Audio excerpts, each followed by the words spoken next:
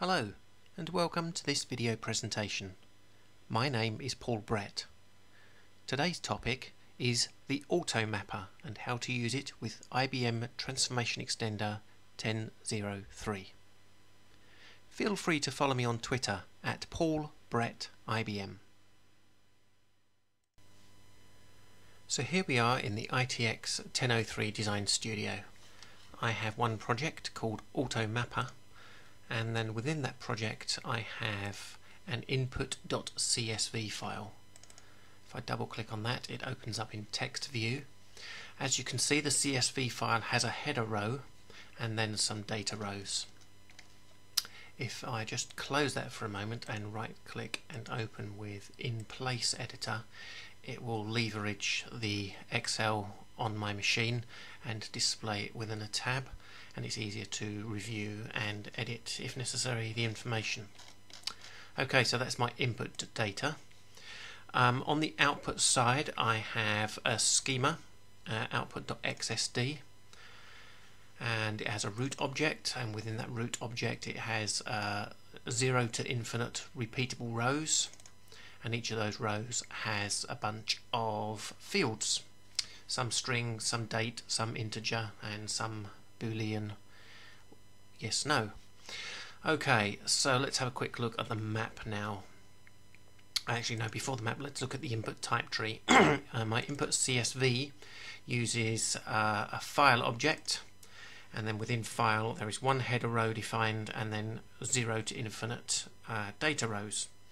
Uh, the rows themselves obviously have each of the fields and defined to uh, validate that data so let's come out of there. Okay, in the map,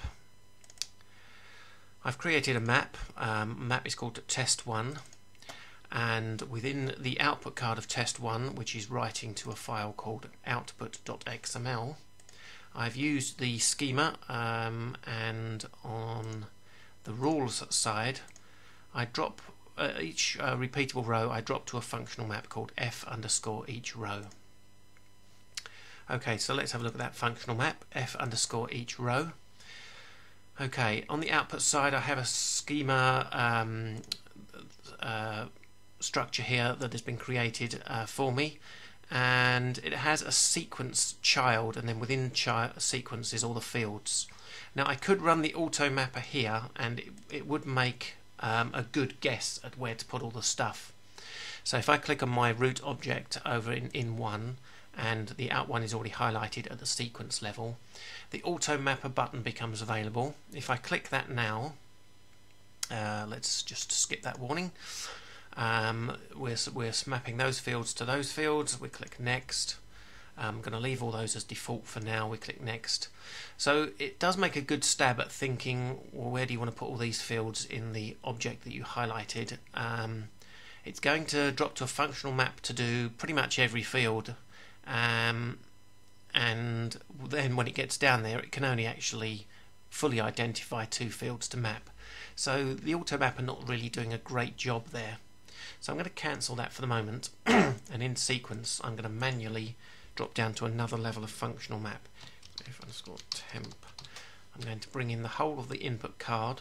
Oh that's not typing anything. Let's try that again. Okay that's typing now. Let's collapse that let me type yes equals f underscore temp.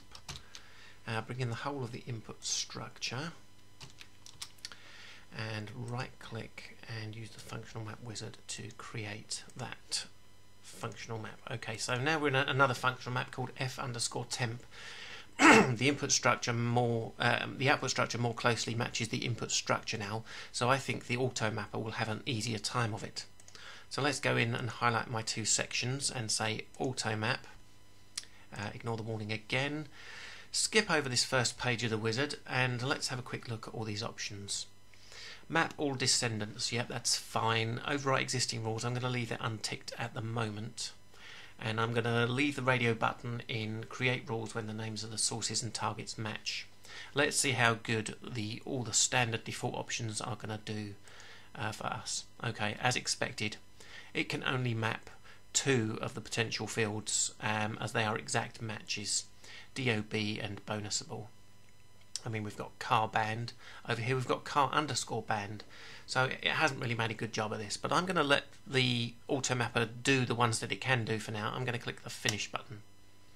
Okay, so that's the automapper having its first stab at this. Let's go and run the automapper again. Ignore warning, skip first step. I'm going to click on here, create rules when the names of the sources and target match by a specific percent. So I'm going to leave it 50%. So I'm going to um, slowly reduce this percentage and, and at each point I'm going to see if it can map more rules for me. So let's start with 50, click next. Okay, so the automap has had a much better stab at uh, doing additional rules here. So it's going to do, do these additional four for me, leaving the original two in there. So I'm going to click finish. That's great. More rules done for me. But I think it can do a bit better than that. So let's give it another go. Let's run the auto mapper Skip, skip. This time I'm going to drop the auto mapper down to a 25% match. Okay, so it has done an additional two rules for me. Pension, uh, it has found to be pen group member, and building has come from building code. So that's good. 25%. It's it's making some reasonable guesses.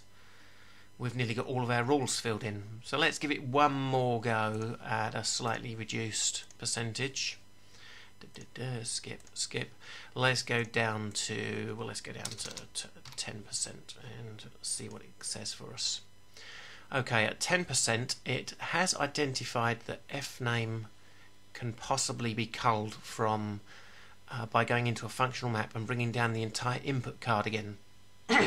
However, this will leave us uh, with another functional map created, and seeing as it's taking the whole input card, is not really going to be helping us much. So I think the auto map is not really helping at this point. I can go back and I can change that up to a 15% match.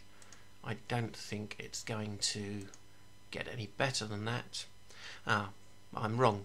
As it turns out, S name, it has actually worked out that that should be the last name. So it's done an additional rule for us. I'm going to click finish. And I think we've gone about as far as we can go for the auto mapper today. So I'm just going to finish the last two rows myself manually. Department and first name have been both done. Okay, so let's build and run our map and see what we get. I am going to build. We have no problems with the build. I'm going to run. Map has completed successfully. Let's have a look at the output file. It will be in the XML files section and if I double click on that there we go, there's a nice XML file for us to look at. Let's click the design and yeah, it's got all my rows of data in there. Let's just pick one at random and expand all the uh, entries here. We've got um, Preston holder, date of birth, blah blah blah, salary, yep, pension, pension, car. All the data appears to have come in perfectly. So there we go, that map has worked very nicely indeed. I am not going to save my changes for now.